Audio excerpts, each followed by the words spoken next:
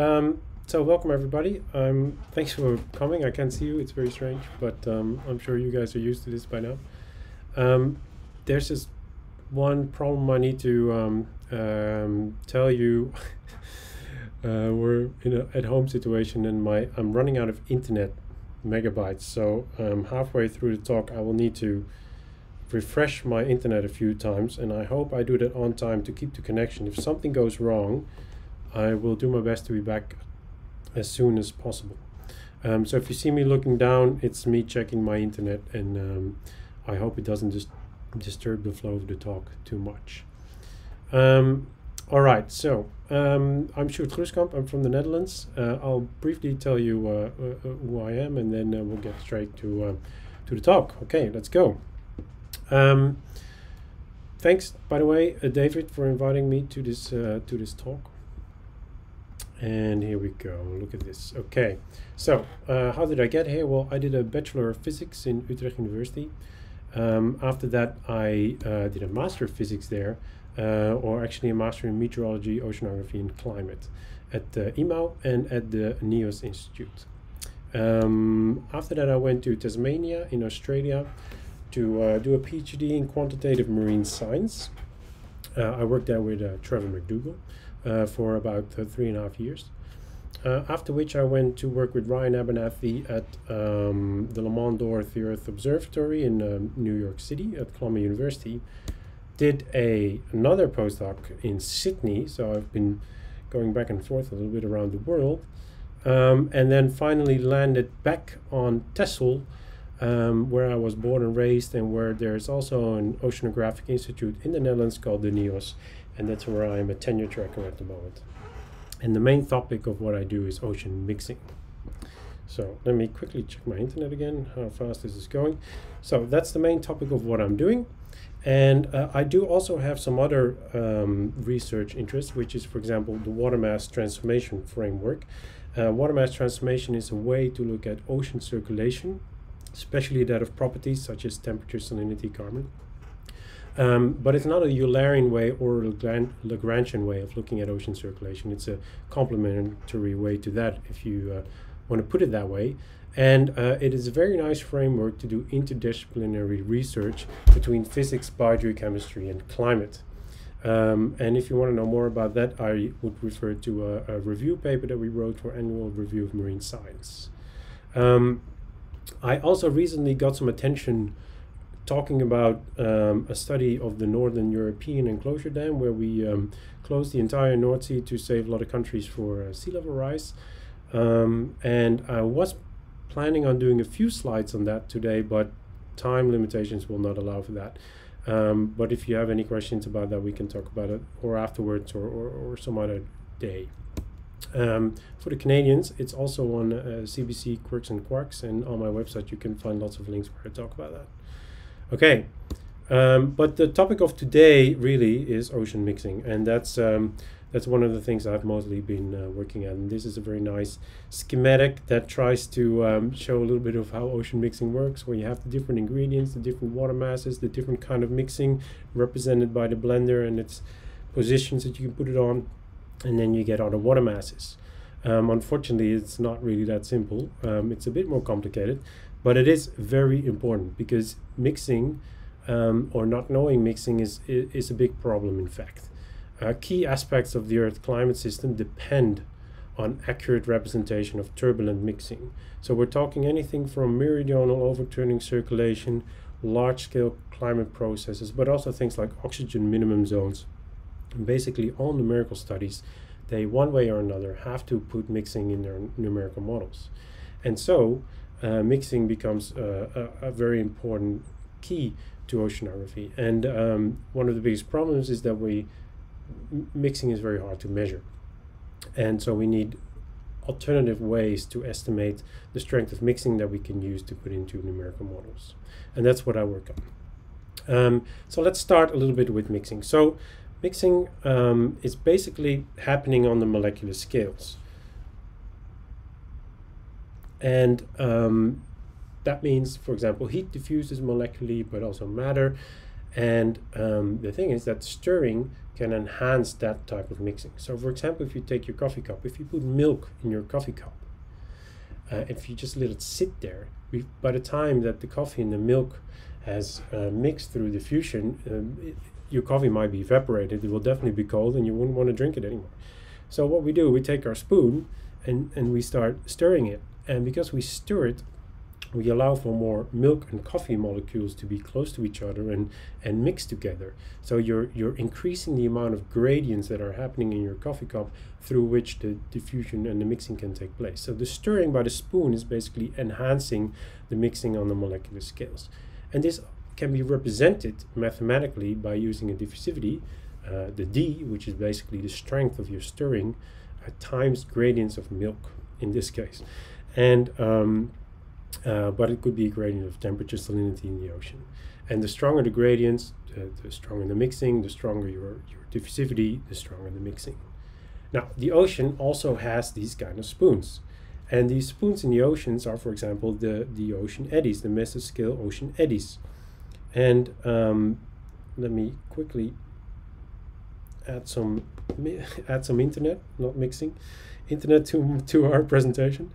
Um, so the ocean eddies, basically large scale variations of the mean flows of, of 10 to, to say 200 kilometers, um, they also allow properties, warm properties from one location that are uh, normally 200 kilometers away uh, to be close to colder water, warm and cold water, for example, and therefore enhancing the molecular diffusion that it would otherwise have to occur on the background and that would take forever.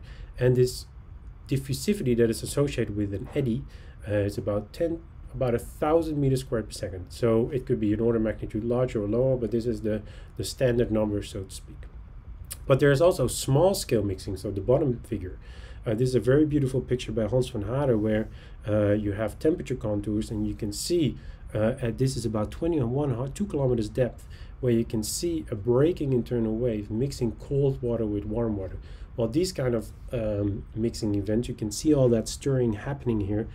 Um, these are on the order of 10 to the minus 4 meters squared per second. So that, that's 10 million times uh, difference in magnitude between those two stirring processes. And still, they're both extremely important because the eddies, it's harder for them to do something vertically, whereas these internal waves, they break vertically. Uh, so they mix vertically, so they can, for example, add to um, transporting heat to the bottom of the ocean. Um, so uh, we have this basically this scale separation where we have the mesoscale mixing and the, the small scale mixing. That's how we generally implement it in parameterizations. Um, for here, we see some estimates of these from um, semi-observations. Um, the top figure is by Abernathey and Marshall from 2013, where they have traces released in um, satellite-based uh, geostrophic velocities and look at the resulting mixing of these tracers and they find most importantly that this eddy mixing the diffusivity associated with it is a couple of orders of magnitude in difference and spatially varying a lot. And this is just for the surface. Um, then for those breaking internal waves we see uh, similar patterns where where there's very strong spatial variations of orders of magnitude. So it's it's a problem that extends many orders of magnitude and the whole globe. It's it's not easy to fix. And in order to know this mixing accurately, we, we basically have to be able to measure it everywhere, which is pretty much impossible because uh, if you want to mix the eddy mixing, the mesoscale, you basically have to release uh, a dye somewhere in the water and come back a year later with your ship measure it again and see how it's spread it. And, and you can imagine how much time and effort and money that takes. Um, uh, similar things are true for the vertical diffusivities where you have to go out with a ship and you, you have microstructure profilers that, mis- that measure dissipation from which you can diffu- get diffusivities. In other words, it takes a lot of time, effort, and money. So we cannot measure the whole globe simultaneously. And to get estimates of mixing uh, for these kind of large scales, we, we need to refer to different solutions. And uh, on top of that, of course, not unsuspected, um, mixing is also temporally variable. Both mesoscale mixing, as a recent paper showed by Busecke and Abernathey, um, but uh, the lower unpublished work at the moment also shows that in time at one location, the vertical mixing by those, for example, breaking internal waves, can also vary orders of magnitude. So it's it's um, it it's, it's very variable. That's the conclusion. Uh, so, what's the problem? Well, uh, direct observations of mixing are very difficult to obtain. Uh, because of that, observations are sparse in time and space, and parameterizations are unconstrained. So, ongoing efforts are to indirectly estimate mixing by combining theory with easier to measure observations, for example, temperature, salinity, pressure. Uh, making the observations cheaper and autonomic uh, would also be a solution, but that is very difficult. And remember again, we want this because this mixing influences lots of stuff that we care about. It's important for important things. Um, okay, so today we'll mostly talk about mesoscale mixing, um, an indirect estimate of mesoscale mixing from theory and observations. It's work that I've been doing with Joe LaCasce, uh, Trevor McDougall, and Marine Rogé, um, and that's going to be the main topic of today. But we're not going to start about that just yet. Um, because I just want to tell you that I also work a lot on inverse methods. Now I'm not going to go into details what inverse methods are, uh, but they they were often used to get global scale circulation patterns from um, temperature and salinity. And now uh, our, our coverage of temperature, salinity, and other uh, traces, our observations of them, have increased to such an extent that we can now also start to estimate mixing from these uh, kind of inverse methods. And um, uh, one method that I developed was, was the first one that was able to produce global uh, estimates of both small scale and mesoscale mixing. Uh, but it was globally integrated, and of course, it had some caveats, like like almost every method. Um, so I started working on a new inverse method, uh, which is quite exciting new work, if I may say so. And I'm going to show you a quick preliminary result figure. This is for the NATRE region, the North Atlantic Tracer Release Experiment region, and all those black dots they are in fact uh, measurements that they did by releasing a dye and the two uh, pointed towards with an arrow at the bottom um, those are results coming from my new inverse method that I'm currently working on. Uh, but again this is very preliminary results and um, those error bars can reduce a lot if, I, if I do a better job. Um, but that's going to be work for a PhD student in the near future. And finally Jan Zika also uh, developed the tracer contour method. And the beautiful thing is all these methods can hopefully in the future be combined to estimate mixing globally. And that's, that's one thing that I'm working on at the moment as well. Uh, finally, uh, the other thing that I hope to do at the NIOZ is to find a very different way to measure um, small scale dissipation and be able to put that on Argo float so we can get a more global co coverage. Of course, everybody wants that. Nothing is certain that we'll make it, uh, but we have some ideas and we're working on that. Okay, so to, to summarize the introduction very much, um, for physical and practical purposes, mixing is generally split into small scale mixing and mesoscale mixing. Now, mixing is a fundamental process. Uh, I like to call it fundamental because it, it, it occurs on the smallest scales, on the molecular scales, but it influences the planetary scales all the way to the climate system. So it's fundamental in both senses. Um, but because it's so small, we can never calculate it directly in, in our climate models, and it has to be parameterized. Um, but these parameterized, they're often unconstrained because they, they have tuning parameters, and, and we'll probably never get around that, but uh, we need to find ways to constrain these. Um, and observations are one such way, but observations are very difficult um, to get. So we need to estimate this mixing from observations that are available. And today we'll be talking about one such method. Okay, so it's a method, I should go back one slide, sorry. Um, it's a met method that will constrain a form of a parameterization of mesoscale mixing uh, using readily available observations and also direct observations of this mixing from this NATRE region and another region called DIMES that we'll come back to later. So it's a combination of theory, um, available observations, and those hard to get observations. And that's what we'll talk about in the next 15 minutes. So we will start estimating these. So we're talking about this mesoscale eddy mixing. Those are the diffusivities that we're going to try to estimate. So we're going to forget the small scale stuff for now. And uh, the closure for geostrophic turbulence, because that's the scale we're looking at, um, often used is the mixing length theory from Prandtl. And it means we're talking about a diffusivity that is a mixing efficiency times uh, the root mean square root mean square geostrophic eddy velocity uh, times the mixing length. And this is the length scale of the eddies. So basically, you're, you're looking at how fast parcels can stir around, and you multiply that with some kind of efficiency of the mixing that is going on. Um, however, this is not complete, and Ferrari and Nikurashin a decade ago derived a very important contribution to this uh, the fact that um, the background flow can suppress this eddy mixing, these eddy diffusivities.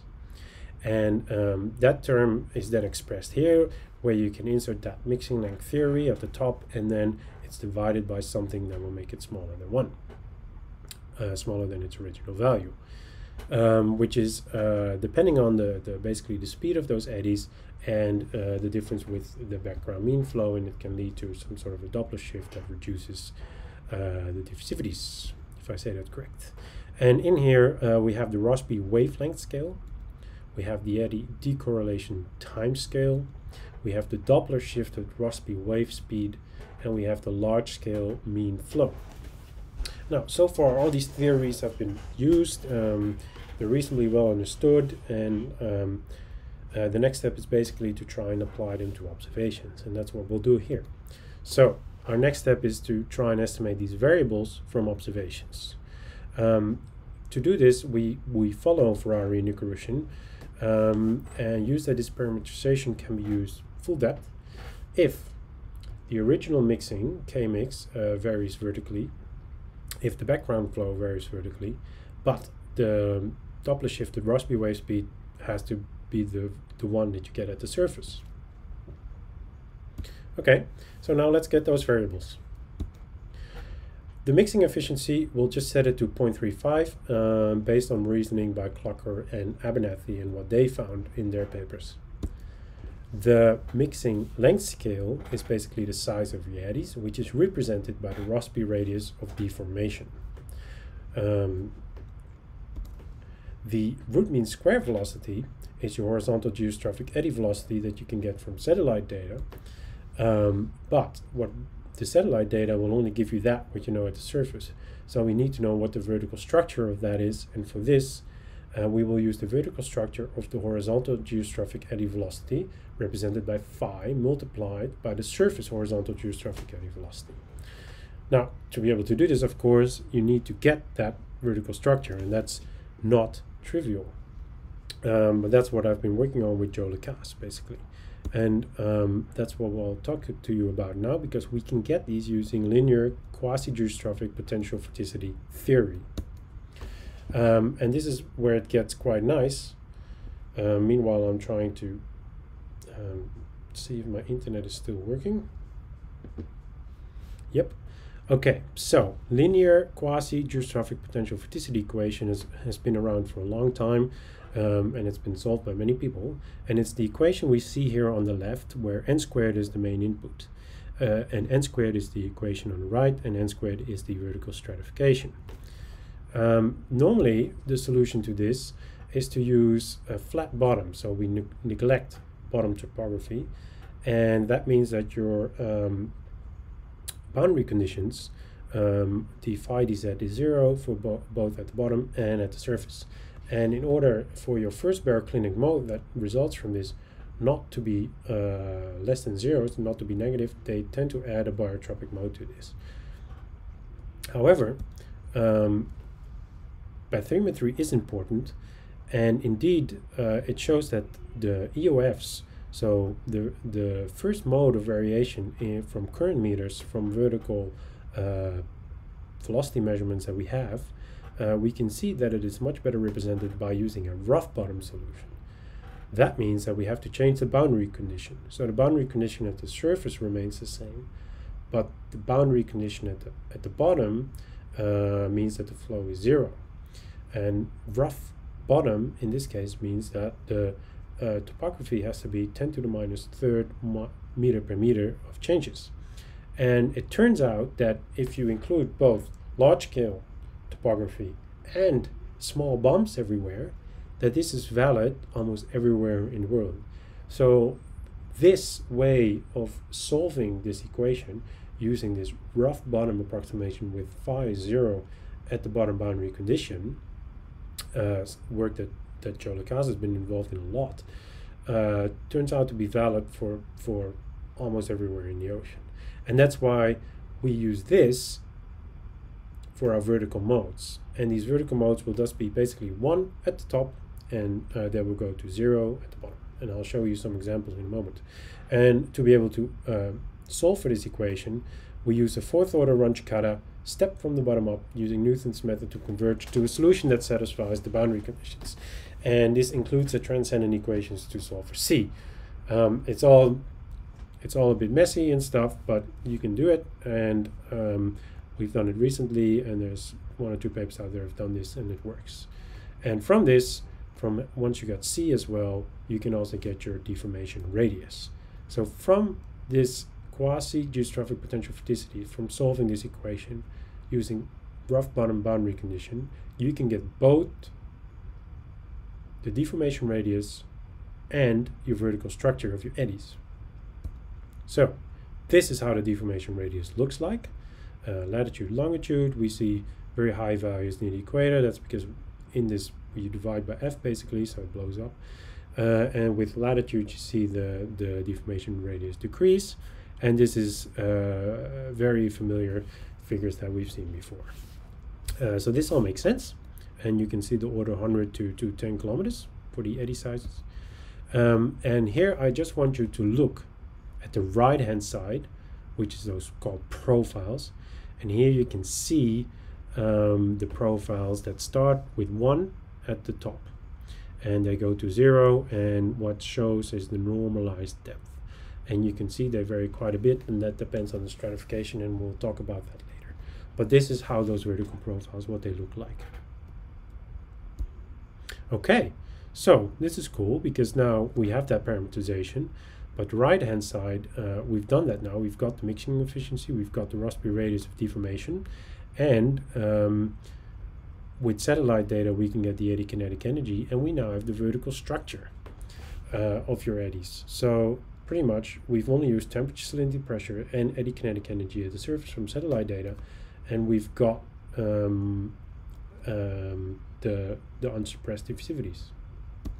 So we still need to work on this suppression factor. Well, this is doable because uh, the Phase speed is given by the, the Doppler shifted Rossby wave speed um, is given by this equation here where the big U is the background mean flow um, but then depth and time mean um, and normally you would get these values from a Hovmöller diagram where you track these eddies in, in space and time uh, but Klocker and Marshall showed in a very short paper that this approximation that you show here uh, is, is reasonably well actually to get this phase speed so that's what we used.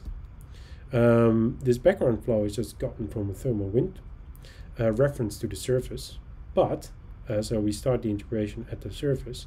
But the nice thing is because CW minus U is in there, uh, the surface, the reference velocity of the surface that you need to get a total velocity actually drops out. So that reduces the um, uh, errors that you would get from trying to also estimate a surface velocity. Um, then uh, the Rossby wavelength is uh, 2 pi over the Rossby radius. That's what we uh, approximated. And then finally, the only one left then is the eddy decorrelation timescale.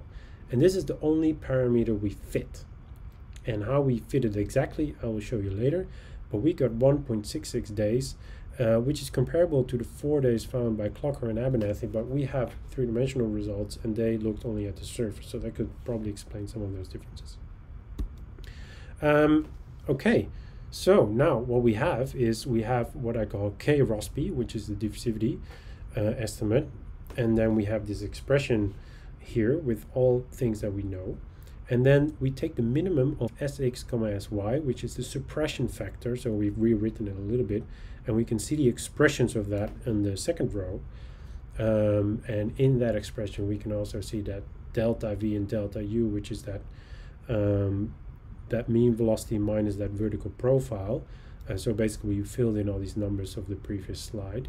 Um, and these are all things that we know. So why the one thing I need to say why do we take the minimum of those, uh, one of those suppression directions? is because normally um, you would like to look at um, the minor axis of the ellipse because the, the this this eddy mixing is is cross the cross the mean flow direction, strong flow direction. Uh, but we don't have that at the moment. We tried to get it from satellite data. It was a bit too noisy, didn't work. Uh, so we use this approach, which has also been used by other authors in the literature, and I think that includes uh, Klocker and Abernathey. Um, and this seems to work well, as I will show you in a minute. Um, and again, so far the input has only been temperature, salinity, pressure, which we have a lot of, and eddy kinetic energy. Um, okay, so the parameterization is up there. Then we have our expression uh, for what we call diffusivity Rossby that we just explained. But there's one more problem. At the equator, the deformation radius goes to infinity. Now that that doesn't work very well uh, to get estimates. So at the equator, we got to do something else. And the thing is, at the equator, um, the eddies well, normally the, the growth rate of the eddies is limited by this deformation radius. But at the equator, because this deformation radius goes to infinity, that is no longer the limiting factor in the eddy growth. But at the equator, um, what, what, what is more dominant is the Rhines scale. Basically, what is happening is that uh, the eddies start feeling the latitudinal change of the Coriolis force or the beta effect, and that will tear them apart pretty much and because of that, um, they can grow to a certain size. And this size is given by the Rhines scale. So near the equator, we have to replace this theory that we just had with the expression below where with some mixing efficiency times the root mean square times the Rhines scale. So here we assume that this Prandtl mixing theory is still valid. Uh, we don't have suppression in here uh, directly. And uh, what we do is once r is larger than 1, basically once the Rhine scale becomes the limiting factor, we switch to the Rhine's expression of the diffusivity. Um, and we use this, this gamma equator to do fitting because what happens is basically you come from south or from north, you move towards the equator, and at some point um, you transfer to the Rhines scale, and at that point you fit the gamma equation to, to make it, this transition continuous. Um, and, and that's how we do it. And then we get a new result. Um, I have to say, we still have to take care about our results near the equator. It's not perfect, but it seems to be a reasonable, reasonable step forward compared to nothing. Um, so, this is the final expression where the final diffusivity is given by this Rossby diffusivity. Unless we're near the equator, it's given by this Rhines diffusivity. So let's start to look at the results. So I used World Ocean Atlas 2018 temperature salinity pressure and I use some annual annual means and I also used annual mean eddy kinetic energies from surface satellite data. I don't know by heart which product I used, I'm sorry. Um, but I combined that, we did all these calculations. We did all these, these solving for these modes, these deformation radius, put it all together and looked at the results. And then we fit it because we still have this gamma fit. And this gamma fit is basically in this figure. So look at the pink color. That is our results. Whereas the black dots in both regions, so we're looking at, sorry, we're looking at the NATRE region, the North Atlantic Tracer Release Experiment, and we're looking at the DIMES region, which is in the Southern Ocean. And in both regions, there are direct estimates from, from dye releases and, and, and boats going there and stuff of this mixing. Those are indicated in black. And what we did is we fitted our results for those black dots only to minimize the difference basically for those for both regions simultaneously. And that gave us the gamma of 1.66. So yes, you could argue that we cheat a little bit in this figure by making it look nice in this figure, but then again, it actually does. The, the, we, we can't say too much about a vertical shape and where the suppression is happening. So it's it's it's a really great fit when we look at the pink overlying the black. And we were amazingly surprised how well this goes. And also, look at the difference if you do not use suppression. So the, the sort of the orangey color um, is the version of our results, but without using suppression. And you can see it's, it's much less good. uh, the pink one is really good. And uh, in the dimes region, you can see that it captures this subsurface maximum due to the suppression factor really nicely. And there is not any of the other theories and these estimates that are in this figure that I'm not going to talk about all of them, but none of them basically capture this this, this well and this accurately. So we were really happy uh, to see how well these vertical modes in combination with the suppression factor and everything is working. Okay, um, so let's quickly look at, so this is all from World Ocean Atlas, right? This is the unsuppressed values. Um, so this just means the largest values at the surface and it decays with that. Uh, we can see a map. Um, the, the top figure is a map of this with high values ranging between 10 to 10,000 or more. And the one at the bottom is a transect, and a transect is in the Atlantic, and you can see the stripe, and you can also see the boxes indicating the DIMES in the NATRE region. Um, sorry, NATRE and DIMES region. Um, meanwhile, I am checking my internet again. So we're not that interested in these values. We're actually more interested in um, the suppressed values because they're physically more realistic. And this is the suppression factor that we get out of it, where we can see in this red circle beautifully the strong suppression that we expect in the Southern Ocean. And um, if we look at the transect again, we can see beautifully uh, that the white color indicates basically no suppression, the blue color indicates strong suppression, and we can see uh, the subsurface, there is no suppression, allowing for a subsurface maximum of your diffusivities, uh, which comes out very nicely here, in fact. Um, so we were very happy to see this as well. And we can see the result of this in our estimates of the diffusivities. So here are our final estimates, or uh, parts of them anyway. Uh, we have the same map again, but now suppressed. And we see some very cool features. So for example, we see the effect of suppression in the Southern Ocean very clearly in this red circle, but we also see near the Agulhas, uh, the south tip of Africa here, we see uh, where we know there's a lot of eddy mixing going on, and we see those highlighted here as well, and we see the, the suppression going on there.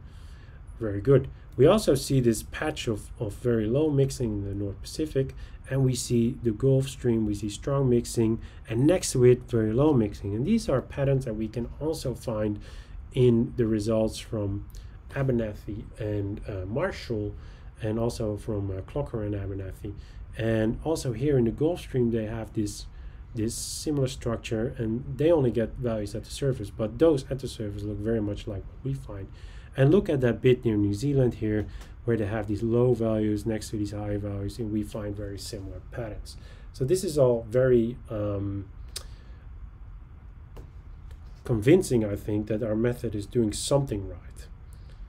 So we're very happy with that. And of course, in the vertical now, we can see this subsurface maximum in uh, the Southern Ocean where we expect this. So again, we only have temperature, salinity, pressure, and we're getting really good estimates of mixing. This is amazing. Um, just near the equator, as you can see, the stripy behavior, this is not ideal. It's, it's definitely representing something realistic, um, but it's not ideal. So that needs work. Okay, we're almost there. Um, the last thing I wanted to talk about was this vertical structure. So what what's really new, like what a lot of people have done, they've already looked at a lot of these things, but hardly anybody has actually uh, done a good job of implementing this vertical structure. Um, as far as I know, anyway. Maybe I've missed something.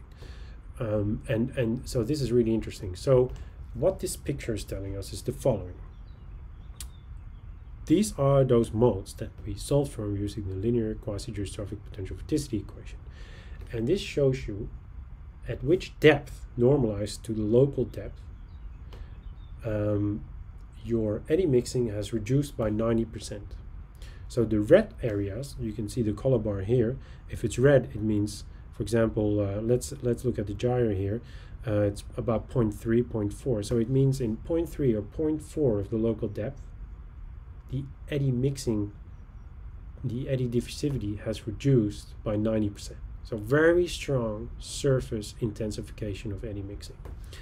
And that's what this is telling us. This map is telling us the surface the, the rate of surface intensification or the rate of vertical decay of the strength of eddy mixing. And we can see some some really fascinating features here. And uh, don't forget, the only thing that really goes into this is the stratification.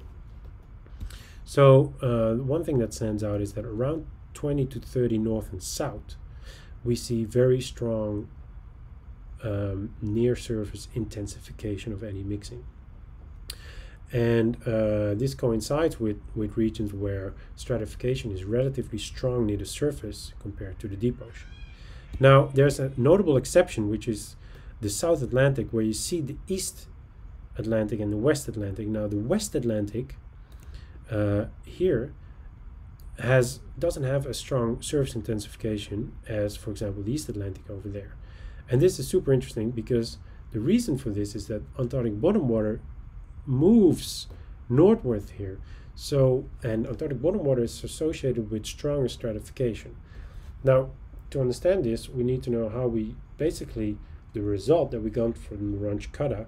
Um, if you use the WKB solution to get to similar results, um, the result looks like um, the root of n multiplied by the sine of the integral of the stratification from bottom to surface. So in other words, you it's it's more or less proportional to the integral of n, which means that if you have very strong stratification at the surface, that's where where most of your your weight will go to.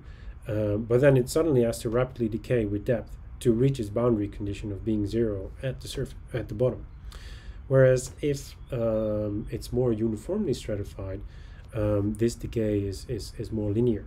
It's not as surface intensified.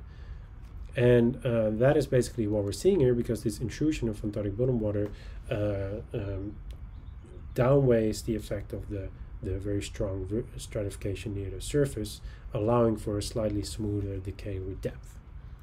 And that is interesting because the stratification is basically set.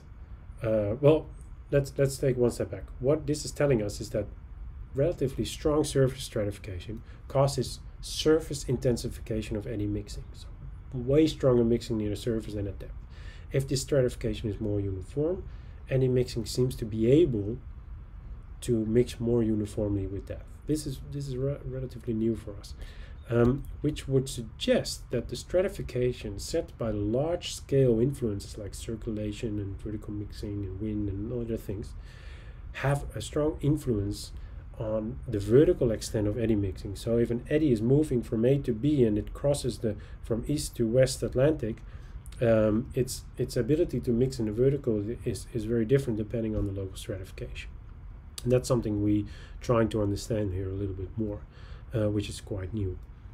Okay, so we're getting to the conclusions now. We have a new parameterization uh, for mesoscale eddy diffusivity we only use observations of temperature, salinity, pressure, and eddy kinetic energy. Okay, cheat a little bit. We also use direct estimates to fit. Um, but these are widely and readily available observations.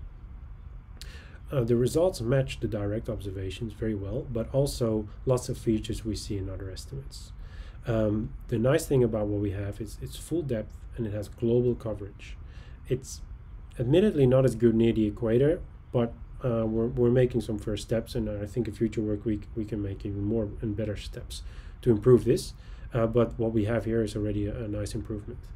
Um, we find that the suppression, flow suppression is very important, but also that the surface intensification, so these vertical modes, are essential, and we cannot live without them basically in our numerical modeling and other studies that use mixing. Um, and this in itself suggests that large scale stratification influences uh, eddy mixing and its ability to mix in vertical. Um, thank you. So I had some more slides about the Northern European Enclosure Dam and stuff, um, but because of time, I'm not going to talk about that. So um, I'll sit here and wait for your questions if they come, and um, I, I thank you for joining and listening. This was a strange experience, but very cool.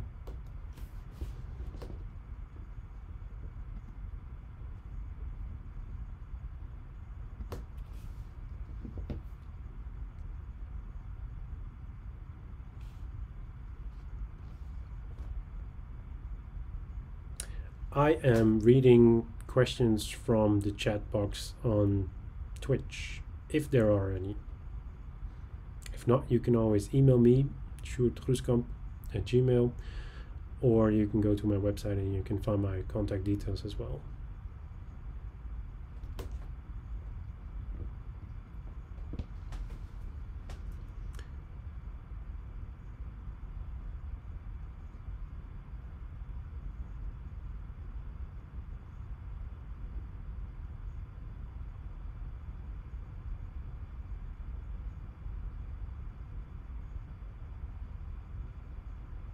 Okay, so the question here is uh, from Roth is um, that LaCasce's rough bottom modes are not always valid. Um, I know Joe would uh, not agree with that, and uh, this is an ongoing discussion. Um, I would have to ask him if I can send you our recent paper, which um, hopefully does a better job of convincing that for most of the ocean this is actually the case, especially when you include um, the effect of bumps. So you have the you have the general topography where for lots of regions the 10 to the minus third is reached, but then on top of that, um, if you have bumps of about five meters over 10 kilometers, that is enough uh, for this bottom boundary condition to be valid. Now, um, so th that's our argument that uh, for most of the ocean, this this is the right way of doing it. Now, if um, flat bottom modes have to be used, uh, we have to wonder if this is possible at all, because uh, flat bottoms they don't have a boundary condition of, of zero at the bottom; they will go negative towards the bottom, um, and you need to to to add the barotropic mode to somehow get to zero there. Um, that's the only way you could use that, I think. But questions are is that if that's adding an arbitrary number or not, and if that's um, valid for the kind of work we do. So this this does rely on the fact that these um, bottom that these modes um, require a rough bottom boundary condition, but current meters seem to support this a lot. Um, so so we are convinced that this is the case. I'm sorry if that if you're not, um, that's fine, and, and, and I would, wouldn't mind talking about that a little bit more offline.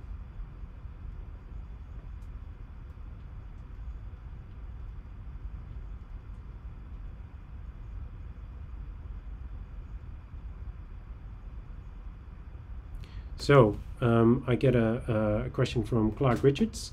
Um, let me read it for a second. what do you expect the effect to be of the decreasing Rossby radius at higher latitudes compared to the altimetry scale? So that the kinetic energy isn't going to be properly resolved. Um,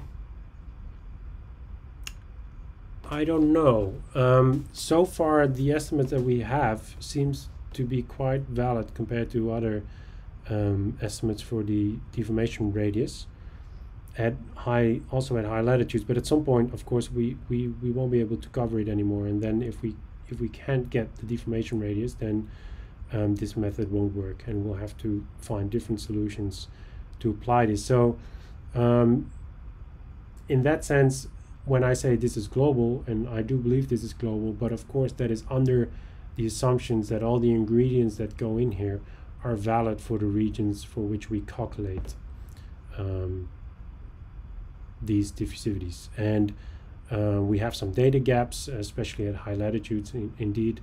Um, and near the equator, uh, some of the geostrophic assumptions break down, so we have to switch to this other type of doing it. And that at this moment is as good as we can get. So I think the method would work, but the data may not allow us. If that's an answer to your question.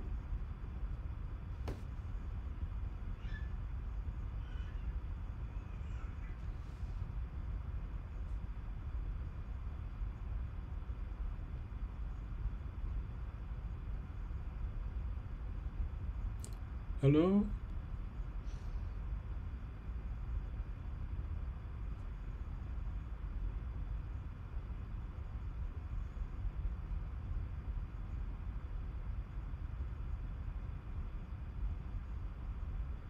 All right. I don't see any more questions popping up. I hope you enjoyed it for the ones who are still here. Um, thanks thanks a lot for joining and um, thanks uh, david for organizing it this way and under these conditions in the world at the moment. Um, this way we can keep science going so thank you